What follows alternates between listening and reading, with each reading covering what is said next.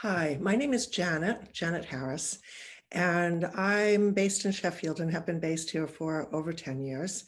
And I'm working with a group called the Sheffield Community Contact Tracers. The group was originally set up uh, a year ago now um, because contact tracing was making a slow start and the group was interested in whether local contact tracing, which is done by local people in neighborhoods, could make a difference. Um, we've published a number of things on it, primarily in the British Medical Journal. We've also started up some other activities. And one of the activities that we've started is something called COVID Confidence, uh, which is what I'd like to talk about today. The reason we started it up is because in our conversations with people around Sheffield, particularly people who were shielding, um, were vulnerable for certain reasons, who lived in disadvantaged neighborhoods, uh, who have English as a second or even a third language. we heard the same things over and over again. And what we heard was that the information about COVID is really confusing. And it's confusing for a couple of reasons. One is because it changes all the time, which we all know. Uh, so the government guidance changes when it needs to in response to the epidemic. Uh, the rules about how to manage COVID change often, as we know too, and the science about the virus. We're learning new things every day, so that's constantly changing. And now we have vaccines, and the information about those is constantly getting updated as well. Now, it's great that a lot of this information is getting updated but it's really tough for people to keep on top of it for a couple of reasons. First of all, they're telling us it's hard to access the information. Now, we know that the government and cities like Sheffield City Council have done a fabulous job in terms of trying to get information up on their web pages. But computer literacy is an issue for a lot of people. Um, some people really have never had an opportunity to use a computer. Other people have a computer, but they have poor internet connection. Uh, people may have smartphones, but they may not because they can't afford them. And when they use their smartphone, they usually tend to use it for the things that they and their friends know how to do. So that's using things like WhatsApp or messaging. Um, and unless you're working in an environment where you need to look up information all the time, like an academic environment, a lot of people don't have the kind of searching skills you need to find the information, and they don't know what the trusted websites are. So we have, um, you know, what PAHO calls a real um, misinformation epidemic, where things are being interpreted, but being interpreted incorrectly. And we also have a disinformation epidemic where there are a lot of people out there saying COVID doesn't exist or spreading myths about the vaccine. So these are two of our huge challenges in public health, which is the area that, that I work in. So we thought, what can we do about this? Um, and I know from past research, um, which isn't just me, it's many, many people, that one of the things that really helps people in this circumstance is something called peer support. So, talking to other people like them uh, makes a difference. Um, it doesn't necessarily, being like me doesn't necessarily have to be somebody the same age as me or someone the same um, ethnicity as me. It could be someone that has the same shared circumstance as me, which we all have now because we're all struggling with the pandemic. Also, getting information from people who are local that I might know or that people like me, like my friends might know, makes a difference. Um, and, and discussing it with people who have credibility. So if I'm Muslim, that might be an imam. Um, if I belong to another faith group, it might be the minister in my church. It might be my GP, my doctor. Um, it might be a local person I know who's a health professional. But that kind of credibility also makes a difference too, because we're asking ourselves, well, what information can I really trust? so we took those ideas and we said, what if we start up something called COVID Confidence? And we did last spring. And the aim of COVID Confidence is to have online, since that's all we can do right now, really, um, have online conversations with people about COVID. And we decided that we'd like to try starting it up in neighborhoods because neighborhoods generally are places where people know each other or know of each other. And you may find in neighborhoods people that are in the same group, whether it's the same social group or the same ethnic group or the same faith group. So we went to the lead community organizations in different areas of Sheffield and they were interested. And with their help and um, their support, we set up regular meetings in each of the neighborhoods where people could have an opportunity to discuss what they wanted to. They originally branded these meetings as training, and we were really careful to say this isn't about training, it's about exchanging information and exchanging experiences because really what we're aiming to do is by having these conversations, help all of us, including us in Sheffield Community Contact Tracing Group, um, make sense. It's a collective sense making process. How do I make sense of information? So they've been set up now, as I said, for almost a year. And each of the neighborhoods is having regular meetings. Um, between 20 and 60 people attend. We've also found that people from one neighborhood often want to attend a meeting in another neighborhood because they really want to hear the information more than once because it's complicated or they want to get tips about how to deal with circumstances that they're running into, issues they're running into. So, out of this is coming kind of networking, um, people seeing each other, getting to know each other online.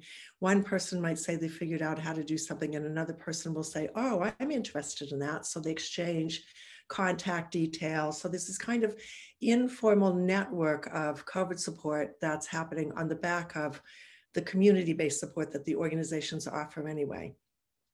So there's a few things happening out of this, um, which show us that it's working.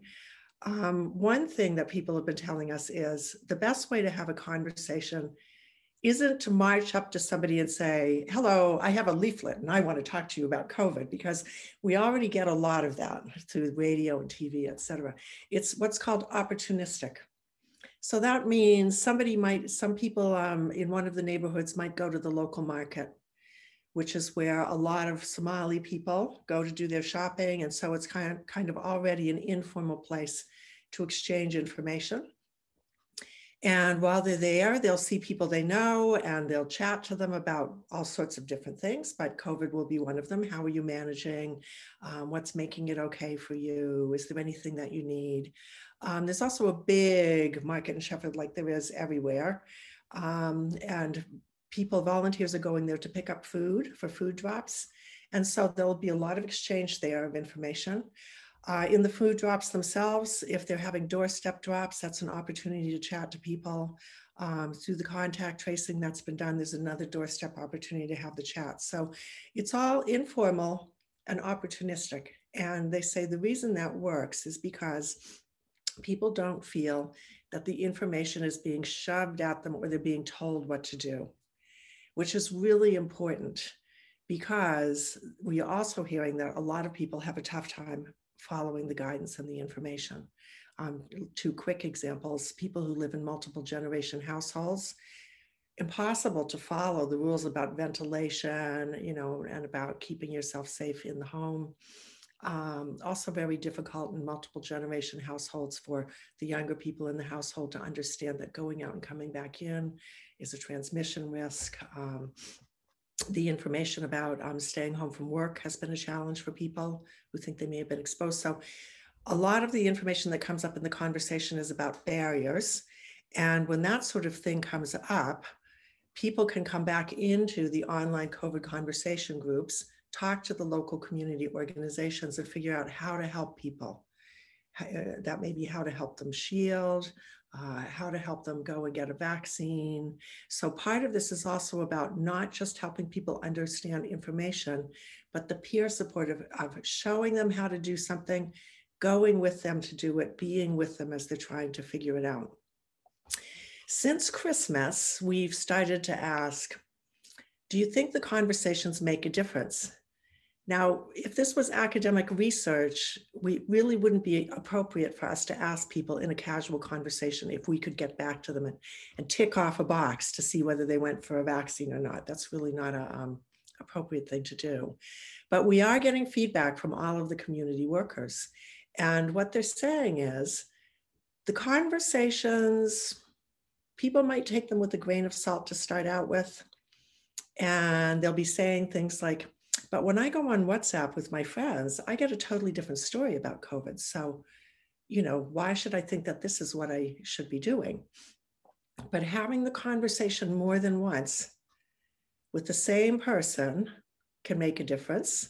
So we've heard stories of people saying, well, yeah, I went back to my friends, I asked them about it, but then I come back to you and you're saying this again. And then I go back and I say to my friends, did you know this? Did you know that? And then together we realize that maybe we should be interpreting this a little differently. So it's changing people's minds. Uh, another thing that's working is they have the same conversation, but with different people. So it may be a different worker every time they go to the market, or it may be the person dropping off the food tells them the same thing as um, the person they see in the park. And so it's like a consistent message that's coming out from many different people, which really helps to counteract the disinformation or the misinformation that they might hear in, in other places.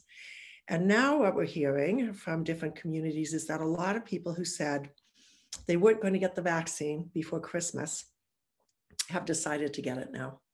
And they, have they've, they've been to get the vaccine. Um, in an ideal world, would like to track that um, through the local primary care networks, um, but that's still something that's being set up. So the uh, simple idea of COVID confidence, which is helping people feel confident about discussing COVID, has surprisingly taken off.